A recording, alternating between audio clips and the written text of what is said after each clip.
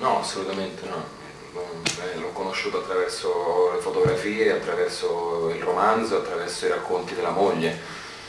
Tutto qua. L'unica cosa è che durante le riprese, all'inizio, io gli ho scritto una lunga lettera che non gli ho mai dato però è, è, stato più terapeutico per me perché gli raccontavo di tutte le mie paure, di, delle cose che sentivo inarrivabili per, eh, per, far, per, arrivare a questo lavoro, per fare questo lavoro al meglio, insomma. però no, non, non ho mai incontrato. Ah, per me è già stato molto forte incontrare la moglie e i figli perché ovviamente eh, è ovvio che per loro cioè, la prima cosa che senti è uno sguardo chirurgico su di te per cercare di insomma loro cercavano di vedere se gli potevo somigliare, se potevo rendere quello che, che, che per loro è stato Antonio, quindi all'inizio è stato molto duro per me, proprio emotivamente, rapportarmi con questa cosa qua, poi mi sono lanciato in questa cosa pensando che avrei dovuto fare il mio Antonio Perrone senza stare troppo a cercare di acchiappare qualcosa che, c'era solo a frammenti. Eh, io tre domandine ai registi. Eh, una, um, dunque, volevo capire una cosa. Voi, eh, questo film è, è, più concentrato sulla persona più che sulla sua diciamo, attività criminosa, perché è una crescita, mi sembra, è molto documentaristico, c'è molta pietas da parte vostra, forse per il 41 bis, eccetera. Volevo capire cosa vi ha spinto a fare questo film, eh, visto che avete comunque trattato un tema che è molto dibattuto e molto anche trattato dalla televisione addiction sulla mafia, la, la, violenza, eccetera, invece qui la violenza è quasi secondaria, eppure nella storia sicuramente di Perrone ce n'è stata moltissima, insomma. Questo cosa ha scritto prima? Secondo, che poi è collegato anche a... No, scusami, è collegato a questo, poi. E in, questo, in quest'ottica quali film eh, vi hanno in qualche modo ispirato e quali avete evitato? Voi avete parlato di, non volete fare una gangster story, volevo un attimo dire questo. Ma eh, ci stanno varie ragioni per cui ci hanno spinto a... Secondo me, non, vabbè, il discorso sulla pietas è, è vario, poi ognuno ha una sua pietas. Eh, penso che ehm, secondo me la cosa... Ehm, Innanzitutto c'era una ragione, come ho detto prima, di, ehm,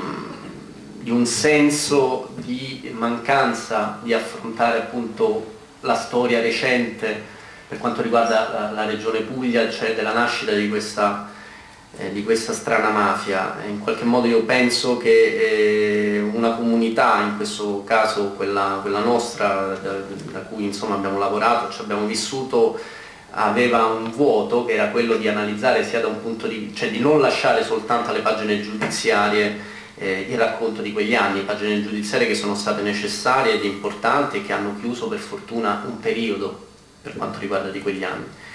Mancava secondo noi da un punto di vista letterario, Perrone l'ha fatto in un suo modo, noi l'abbiamo voluto fare da, da un punto di vista cinematografico.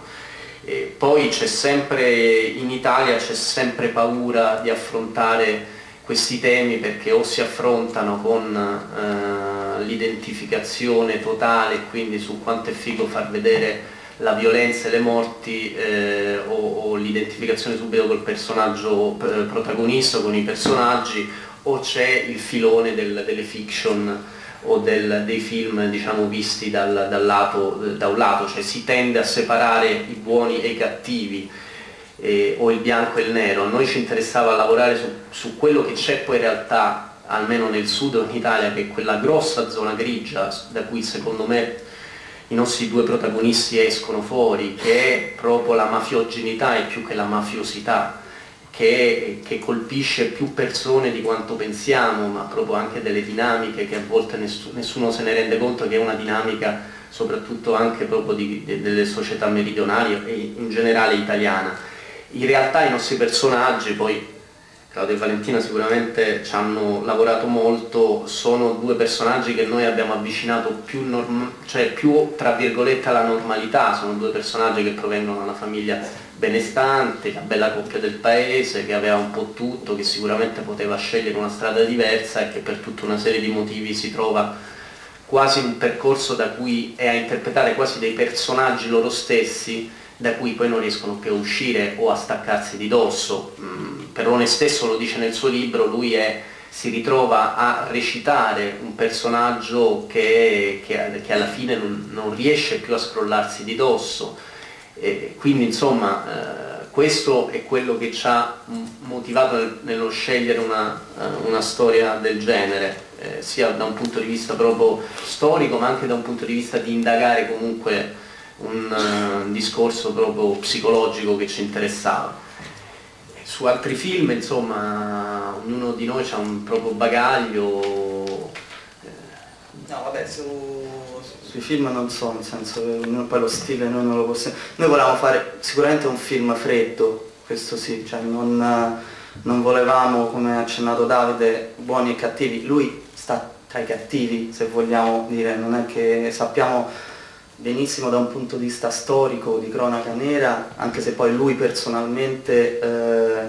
ma non vuol dire niente, comunque è, ha un concorso in omicidio, quello che nel film è l'omicidio di Daniele, lui in sede processuale è sempre negato, invece è stato condannato per spaccio, sono gli anni dell'invasione de, dell'eroina sul territorio, sicuramente lui è stato uno dei responsabili, nonostante venisse da una famiglia diversa, con un percorso particolare,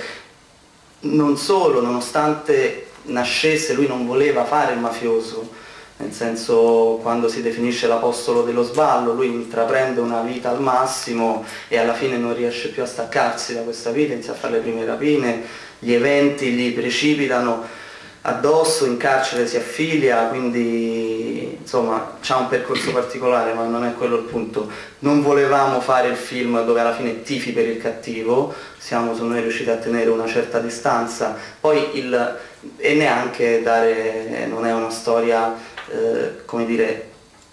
anche se uso termini stupidi, tutti antimafia, anche se poi se vuoi è la parabola anche molto classica, uno voleva vivere una vita al massimo, spaccare tutto e, e, e finisce in un buco nero. La cosa interessante di Antonio e secondo me c'è nello stile di come noi abbiamo affrontato il personaggio rispetto a questa freddezza che abbiamo mantenuto è anche lui come ha affrontato la fase processuale, cioè lui si è dissociato non si è pentito, cioè non è diventato collaboratore di giustizia, eh, ma ha intrapreso un percorso che poi è sfociato nel, nel libro, da cui è tratto il film, di dissociazione, eh, secondo noi, avendolo incontrato, ma questa è un'idea nostra, reale. Eh, però questo è un giudizio, è un giudizio personale. Che sì, vabbè, che va, che va. No, vabbè, dai, tanto stiamo dottando. Poi secondo me è un film in realtà, poi ognuno ha chiaramente i, i giusti giudizi, i propri giudizi, però secondo me in realtà è stata una scelta quella di non fare, cioè secondo me è un film molto violento, nonostante non ci siano, siano pochissime le scene di violenza, eh, perché noi siamo, abbiamo lavorato per archetipi, insomma, anche i tre, tra cui appunto Ugo sta in sala, ma anche il personaggio di Daniele, anche la scena del ristorante, quella verbosità che comunque la violenza è concentrata tutta in quella scena, eh, in realtà poi c'è modi, modi, di raccontare la violenza, poi uno ci riesce o non ci riesce, questo sta chiaramente ai fatti, però non esiste secondo noi il, eh, cioè, cioè un film può essere violento anche senza far vedere 3.000 ammazzamenti o, o 10.000 rapine. Insomma.